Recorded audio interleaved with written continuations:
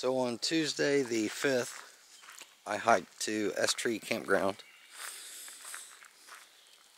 Let me just tell you that the last mile before you get here, if you come here, to make sure you have some snacks and some water and some strong legs. that uh, hill is pretty uh, grueling. Also, the uh, through hiker manual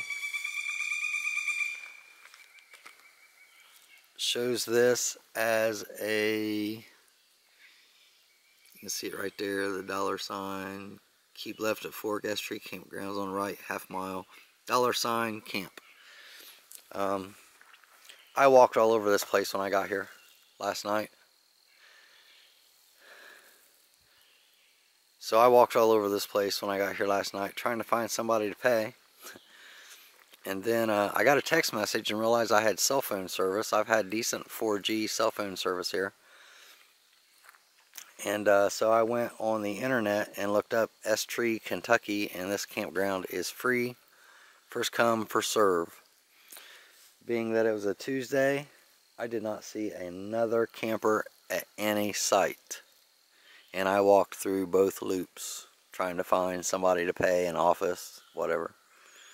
So uh, no water here, no electric, and uh, you got to pack your own trash out. I didn't see any trash cans anywhere either, so pretty nice for being free though. It's got a fire fire ring, picnic tables, uh, tent pads, and uh, if you get lucky like I did, you will find that someone left a block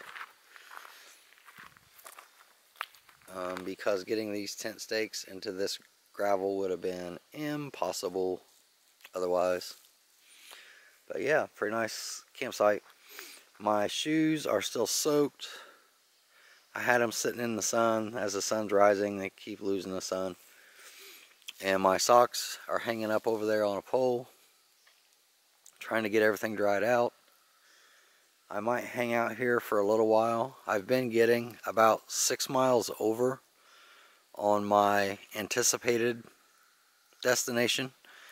And if I wait and leave at noon, I've only got to get uh, 12 miles to get to my next spot. So I think I might do that and just kind of give my feet or my shoes and my socks some time to dry out. I will update later on the trail though if that plan changes.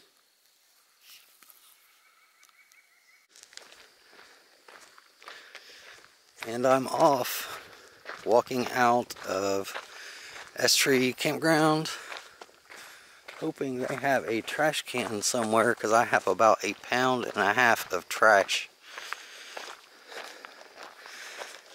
Um, I'm getting a late start. It's Wednesday the 6th, 10.05 a.m.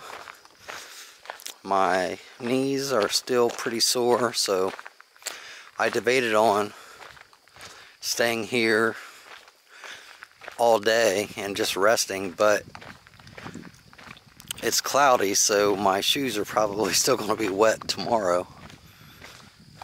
So I'll just try to make it to Turkey Foot Campground. I think they have electric and showers there, which would be awesome. But I really want to find a trash can. And I don't remember seeing any. And if not, I'll just have to carry in hand my trash.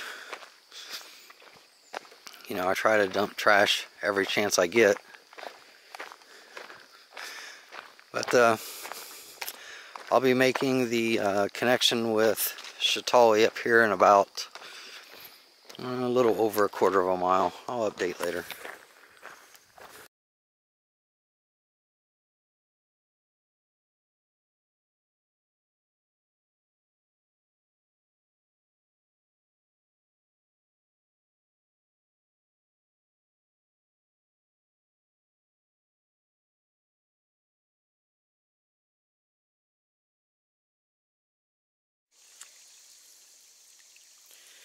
Sometimes you just take your trekking pole tip and break the soil to drain it yourself.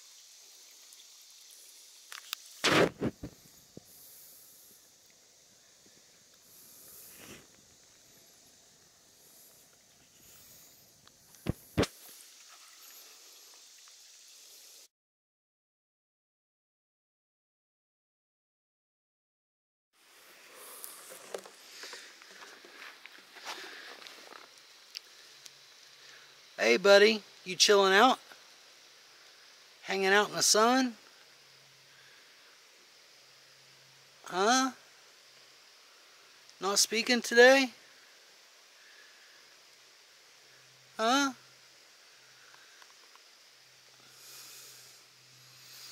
Alright, well, I'm going to let you go. Enjoy your day in the little mini pond all to yourself there.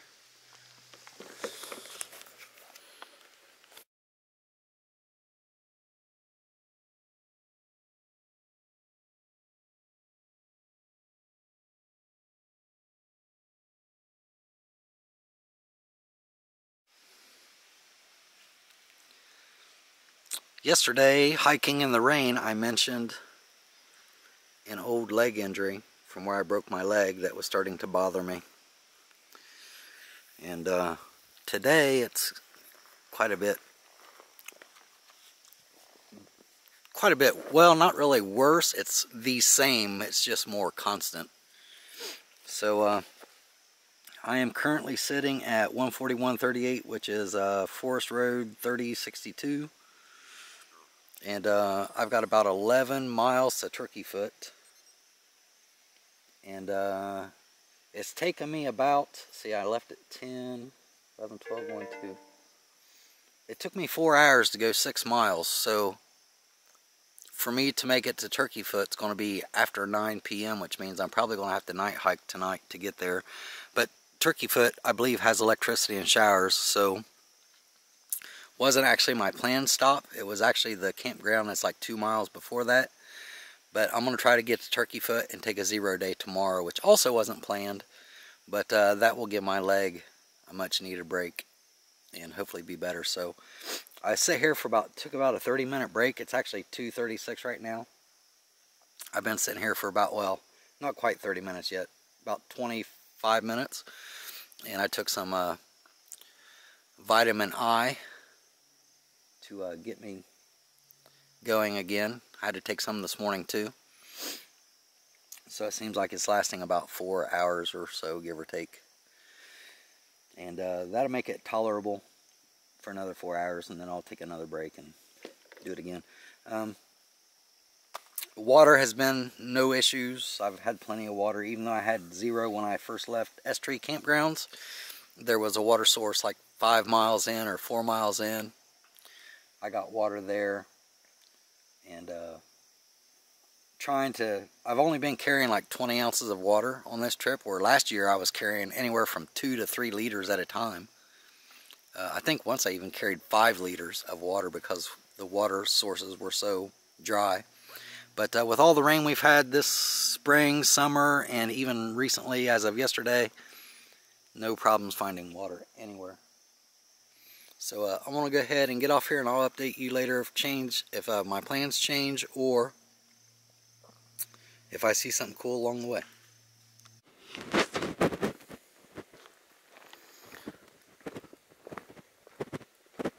Just a quick update. Between S Tree Campground, starting there, all the way to US 421 that goes to McKee and Sand Gap, I've had uh, three, four bars of 4G cell phone service the whole entire way. So something to keep in mind if you got videos to upload or pictures or people to contact. This is definitely a good area for cell phone coverage along the trail. Um, talking to my sister on one of my breaks earlier, she reminded me, and of course I knew about it too, that um, the Sheltowee Trace Trail and me, we I have this like five day curse. So last year, when I first started hiking this on day five, I rolled an ankle. Now really on day three I had like blisters, but day five was was the day I rolled the ankle and I got picked up. I think I took like three, might have been four days off from hiking. Then I come back out.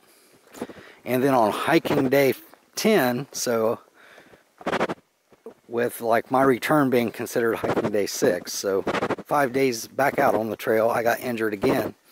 And that's when the blisters got infected, my feet swelled up.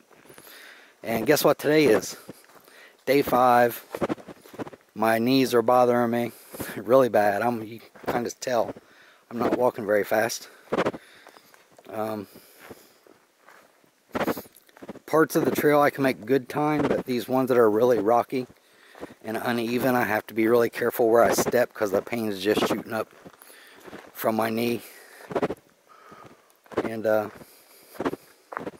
anyways, so I'm going to try to make it, the, uh, the whole thing is, since I started this time, I had been anywhere from six to eight miles ahead of my planned agenda. And what that's done is, um, I was just looking earlier at my agenda, and in five more miles, I will be at my planned stop for this day. And that's a few miles before the Turkey Foot campground.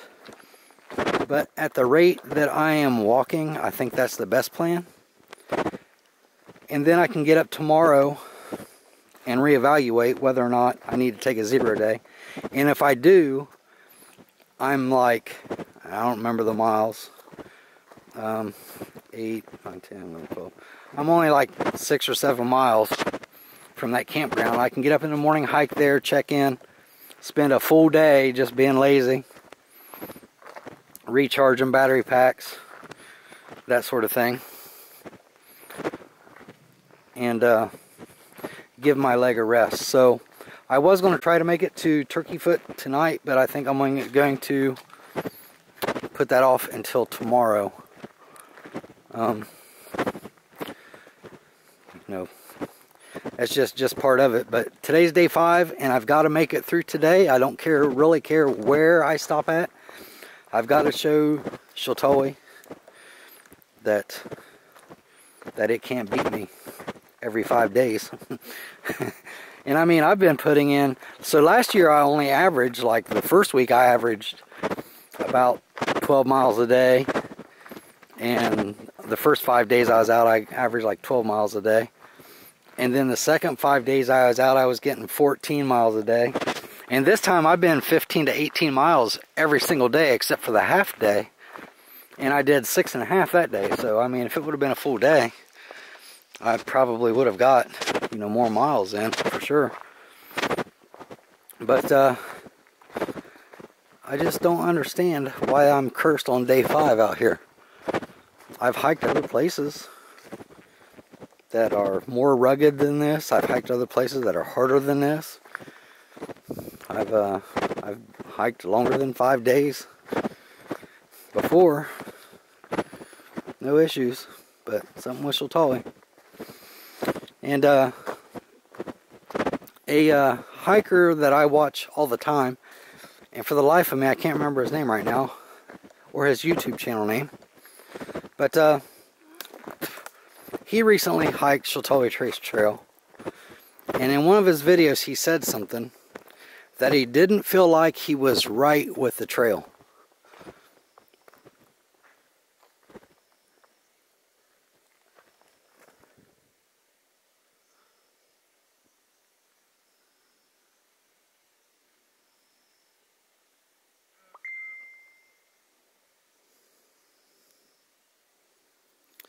And for some reason, that really hits home today. I think I just heard my phone go off. That's probably the Sheltowee Trace Association letting me know how far off the trail uh, the camp campgrounds is. So I'll update in a little bit.